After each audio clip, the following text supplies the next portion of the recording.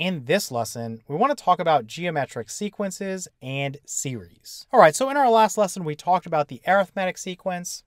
And with that guy, we found that each term after the first one can be found by taking the preceding term and adding some fixed number to it. Okay, the fixed number was known as the common difference, right? We represented that with a lowercase d.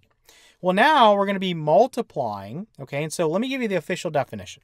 A geometric sequence, which is also called a geometric progression, is just a sequence where each term after the first is obtained by multiplying now the preceding term by a fixed non-zero real number known as the common ratio, and we'll use an r to represent the common ratio. So you can eyeball this and see what's going on. As I go from negative 4 to negative 24, I multiplied by 6. And this is going to be consistent. As I go from negative 24 to negative 144, multiplied by 6. As we go from negative 144 to negative 864, we multiply by 6. So if you didn't see this by kind of eyeballing it, you could take two terms that are next to each other, take the term on the right, okay, and divide by the term on the left. So for example, if I took this term and this term, they're next to each other. Take the one on the right, divide by the one on the left. So if I did negative 864 divided by negative 144, I would get positive 6, okay? And that's what this little formula is going to tell you here. So r equals, you've got your a sub n plus 1 over your a sub n. So if I kind of come back down here, if I write r equals, in this case, this is a sub 4 over, in this case, this is a sub 3, okay? So again, you take two that are next to each other, the one on the right, okay, that has a higher value for n is going to go in the numerator. The one on the left, the one that has a lower value for n, is going to go in the denominator. Okay, and the same thing would go if I picked two other ones that were next to each other. Again, I could just take, let's say this one and this one. If I did, in this case, this is a sub 3, right? a sub 3 over this one's a sub 2. Well, now I'd get negative 144 over negative 24. Let me put r equals this, and this would be 6 as well. All right, now the next thing we're going to talk about, you might also be asked to find the nth term of a geometric sequence. There's a really easy formula you can use for this. So a sub n is equal to a sub 1 times r, again, the common ratio, raised to the power of n minus 1. So again, this is going to match this. So let's look at an example real quick. So we're given this kind of list of terms here. We want to find a sub 9 and a sub n. So this is the formula for the general term, and this is a sub 9. Okay, so how do we do this? Well, let me just go back up here and grab this formula real quick. So a sub n equals a sub 1 times r raised to the power of n minus 1. So let me write that off to the side. So we have a sub n, okay, is equal to a sub 1, and then we're going to multiply this by r raised to the power of n minus 1. Okay, so let's start with a sub 9. So we have a sub 9 is equal to, let me make that a little better. And we know that a sub 1 is the first term from the sequence, right? This is a sub 1, this is a sub 2, you know, so on and so forth. This is, let me go ahead and write this in. So this is a sub 3 and this is a sub 4. Well, we know that a sub 1 is 1 then times. What's r? Well, again, I can just grab two terms that are next to each other. So let me grab a sub 4 and a sub 3. So again, if I grab this and this, I take the one on the right, the one with the higher index value, and I divide by the one on the left, the one with the lower index value. So r is equal to a sub 4 over a sub 3, which is negative 8 over 4, which is negative 2. Okay, so I'm going to put negative 2 here for r. Now, this is very important. When you have a negative, you need to wrap it inside of parentheses. Don't put negative 2 like this because negative 2, the negative and the 2 are raised to the power of n minus 1. So wrap it in parentheses, okay? Make sure you do that. Now, what is n minus 1? Well, in this case, again, n, this right here matches this right here. So 9 is what goes in there. So 9 minus 1 is 8, okay? So all we need to do now is just crank this out, and we're done, right? So negative 2 to the 8th power is going to be 256, right? Because again, the negative and the 2 are inside of parentheses, so it's all raised to the 8th power. So this would be 1 times 256, which is just 256. So let me write this over here. So a sub 9 is equal to 256. Okay, so what about a sub n? And some people get confused by this because you're given this formula here and you're like, well, a sub n equals this. Well, no, you need to plug in things from the problem that you're given, right? So you need to plug in your a sub 1 and your r, okay? So all I'm going to do is say that a sub n is equal to, my a sub 1 again is 1, and then times your r, in this case is negative 2. And if you don't want to put the 1 there, it doesn't matter, but I'm just putting it for completeness. So I'm going to put negative 2 here for my r, and then my n minus 1 here, okay? So whatever term you'd want to find, let's say you wanted the 10th term, plug in a 10 there, plug in a 10 there, evaluate, and you're good to go. Okay, so you can do that with any term of this sequence. Okay, Let's look at something a little bit more challenging. And I'm going to tell you there's lots of ways to solve these. I'm going to show you the way that I do it. This is the quickest way that I've found, but if you have a better method, that's fine too. So we have a sub 3 equals 48 and a sub 6 equals negative 3072. We want to find a sub 9 and a sub n. So let's start with a sub 9. Now, we don't have two terms that are next to each other, so we can't do the formula for r that we're used to. But we can kind of look at our general formula. So we know that a sub n is equal to, we have a sub 1 times our r raised to the power of n minus 1, okay? So what I want to do is just plug some things in real quick, and I'm going to show you that you can basically set up a system with two equations and two unknowns, and you can solve for what you need, okay? And again, there's other ways to do this, but this is how I'm going to do it. So I'm going to plug in for a sub 3, just to show you all the steps. I'm going to put a sub 3 there. This would be a 3. 3 minus 1 would be 2, okay? And I know what a sub 3 is. It has a value of 48. Okay, so let's put that right there. So now we have 48 equals a sub 1 times r squared. Okay, for this one, I'm going to do a sub 6. So I'm going to do a sub 6. And I'm just going to skip that step and plug in a negative 3072. And again, this would be a 6. 6 minus 1 is 5. Okay, two equations, two unknowns, right? I need to find out a sub 1, I need to find out r. So let me solve one of these guys for a sub 1, okay? And I'm just going to solve this top one. So I'm going to say that a sub 1 is equal to what? I would just divide both sides by r squared. So 48 over r squared. Okay, so now I can take this, which is a sub 1, and plug it in there. Okay, that's all I've got to do. So I've got negative 3072 is equal to 48 over r squared times r to the fifth power. Okay, let me just erase all this, get this into a cleaner format. I can go ahead and get rid of this and say this is to the third power. Okay, and so what we'd have is what? 48r cubed is equal to this negative 3072. We'll divide both sides by 48. And we're going to get that r cubed is equal to negative 64.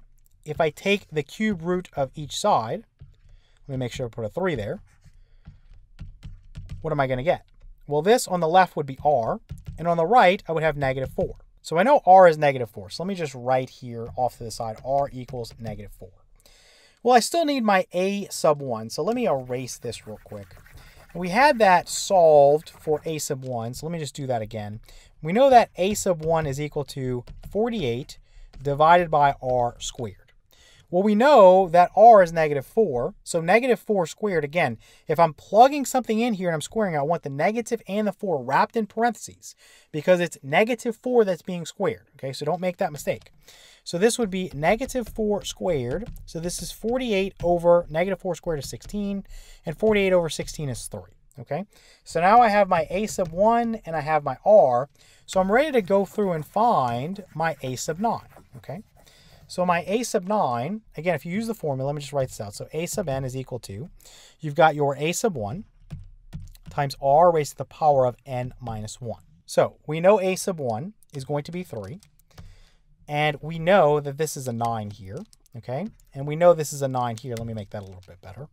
We know this is a 9 here. 9 minus 1 is going to be 8. So what is r? It's negative 4. Let me erase this and put negative 4 raised to the 8th power.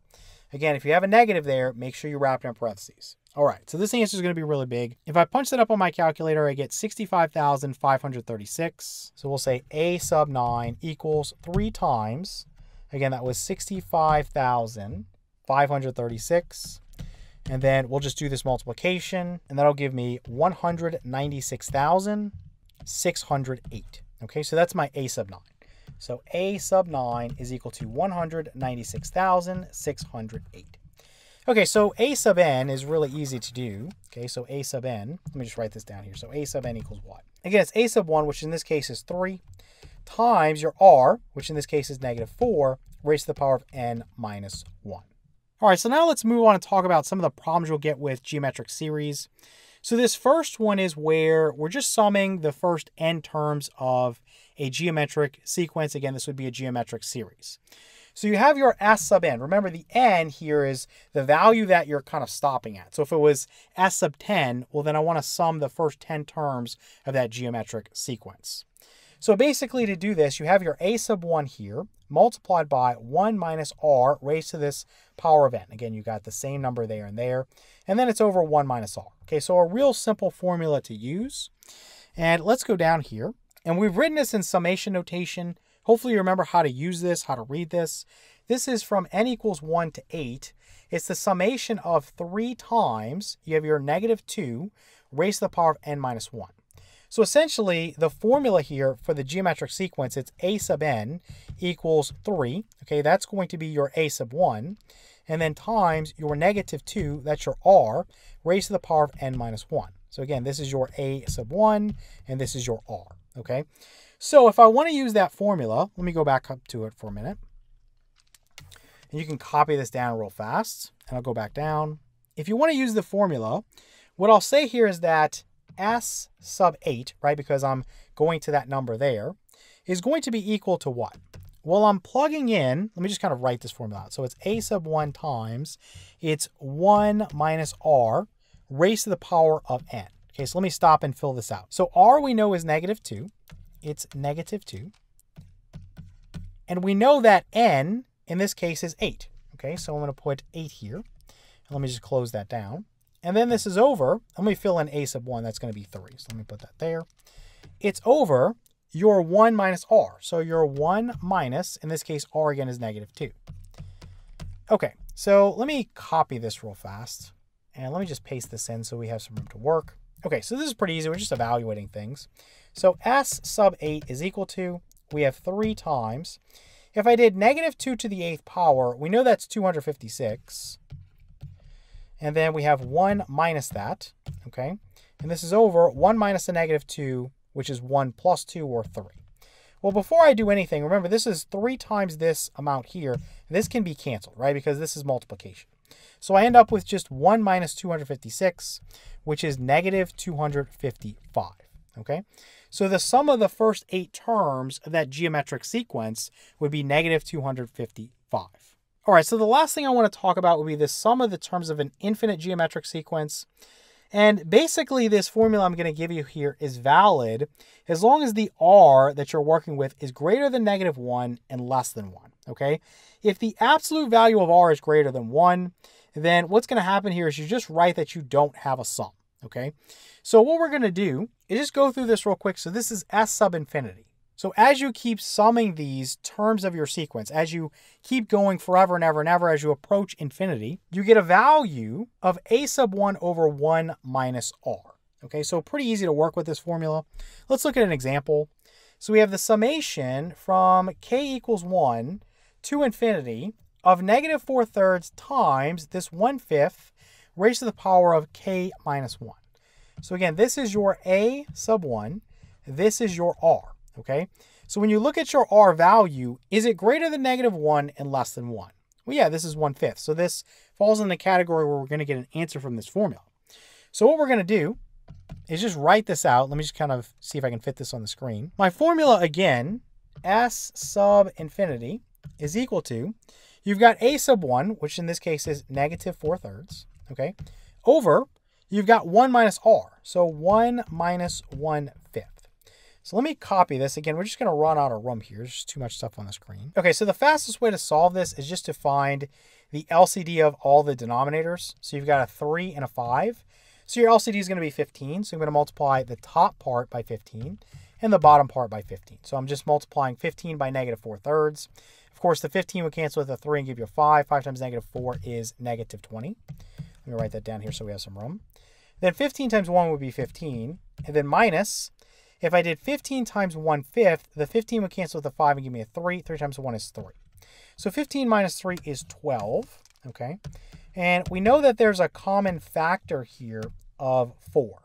So if I divide this by 4, I get 5. If I divide this by 4, I get 3. So the answer here would be negative 5 thirds.